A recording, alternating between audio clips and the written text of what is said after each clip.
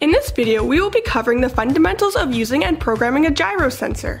A gyro sensor measures and maintains a set angle throughout your robot's program.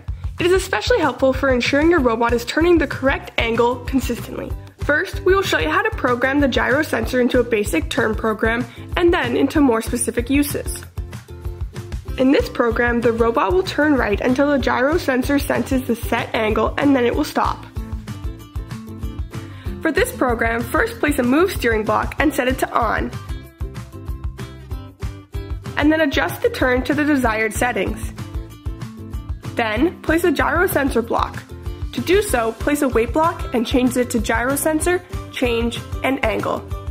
You can also adjust the compare type, so it will perform the task when the threshold value or distance is equal to, not equal to, greater than, greater than or equal to, less than, or less than or equal to the desired distance.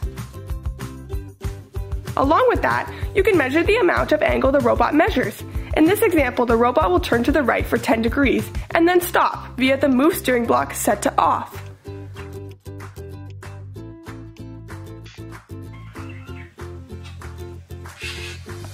This next example is essentially the same, but instead of stopping after the set angle is detected, it will drive forward and show an angry face. To do this, place a move steering block, gyro sensor block, and then a second move steering block, and then the display block.